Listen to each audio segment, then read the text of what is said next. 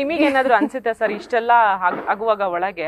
ನಿಮ್ಗೆ ಯಾವಾಗಾದ್ರೂ ಫೀಲ್ ಆಗಿತ್ತ ಫಸ್ಟ್ ಹೊರಗೆ ಬಂದ್ರೆ ಸಾಕಪ್ಪ ನನ್ಗೆ ಇದೆಲ್ಲ ನೋಡಕ್ ಆಗ್ತಾ ಇಲ್ಲ ಅಂತ ನಿಮ್ಗೆ ಏನಾದ್ರೂ ಅನ್ಸುತ್ತಾ? ನನಗೆ ಯಾವ್ದು ಹಂಗ ಅನ್ಸಿಲ್ಲ. Like she's a tough contender ಅದು ನನ್ಗೆ ಗೊತ್ತಿತ್ತು. ಇನ್ನು ಇದ್ದಿದ್ರೆ ಲಾಂಗ್ ವರ್ಗು ಹೋಗ್ತಿದ್ರು. ಆಲ್ಮೋಸ್ಟ್ ಟಾಪ್ ಫೈವ್ ವರ್ಗು ಇಲ್ಲ ಹಂಡ್ರೆಡ್ ಡೇಸ್ ವರ್ಗೂ ಅವ್ರು ಹೋಗ್ತಿದ್ರು. ಬಟ್ ಅದೇ ಹೇಳ್ದಂಗೆ ಅವರೆಲ್ಲ ಫಸ್ಟ್ ಡಿಸೈಡ್ ಮಾಡ್ಕೊಂಡ್ಬಿಟ್ಟು ನಾಮಿನೇಷನ್ ಮಾಡಬೇಕು ಆಮೇಲೆ ಕ್ಯಾಪ್ಟನ್ಸಿ ಬಂದ ತಕ್ಷಣ ಓಕೆ ಇವ್ರು ವೀಕ್ ಕ್ಯಾಂಡಿಡೇಟ್ ಅಂದ್ಬಿಟ್ಟು. ಬಟ್ ಲಾಸ್ಟ್ ವೀಕ್ ಟಾಸ್ಕ್ ಬಂದಾಗ ನೋಡಿದ್ರೆ against all the mens she actually ತುಂಬಾ ಚೆನ್ನಾಗಿ. ಇದೊಂದು ಕಾಂಪ್ಲಿಮೆಂಟ್ ನಿಮಗೆ. ಯಾರು ಎಕ್ಸ್ಪೆಕ್ಟ್ ಮಾಡಿರ್ಲಿಲ್ಲ.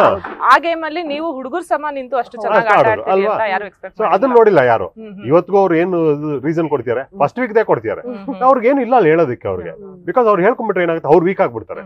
ಸೊ ಅದಕ್ಕೆ ಇವ್ರದ್ದು ವೀಕ್ನೆಸ್ ಇದೊಂದೇ. ಅದೊಂದೇ ಹೇಳ್ತೀರ ಹೊರತು ಅಲ್ಲಿ ಏನಾಗ್ತದೆ ಅಂತಂದ್ರೆ ಧನ್ರಾಜು ನಾನು ಈಸಿ ಹೌದು ಹೌದು. ನಾಮಿನೇಟ್ ಮಾಡಕ್ಕೆ. ಯಾಕಂದ್ರೆ ನಾವು ಬೇರೆಯವ್ರ ತರ ಅರ್ಚಾಡಲ್ಲ ಕಿಚ್ಚಾಡಲ್ಲ ನಾಮಿನೇಟ್ ಮಾಡಿದವರು ಓಕೆ ಆಯ್ತು ಇದು ತಿದ್ಕೋಬೇಕಾ? ಇದ್ ಮಾಡ್ಬೇಕಾ? ಇದು ತಪ್ಪಾಯ್ತಾ? ಸರಿ ಮಾಡ್ತೀವಿ. ಅಂತ ಅಕ್ಸೆಪ್ಟ್ ಮಾಡ್ಕೊಂಡ್ವಲ್ಲ ಅಲ್ಲಿ ಅಕ್ಸೆಪ್ಟ್ ಮಾಡಿದ್ರೆ ತಪ್ಪಾಗೋಯ್ತಾ ನಿಜ ಕಾಡಲ್ಲಿ ನೀವಿಬ್ರು ಜಿಂಕೆಗಳ ತರನೇ ಇದ್ರ ಅಂತ.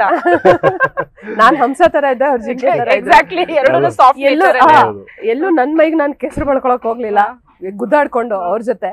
ಸೊ ಹಂಸ ಹಂಸವಾಗೆ ಶುದ್ಧವಾಗೆ ಹೊರಗಡೆ ಬಂದಿದ್ದೀನಿ.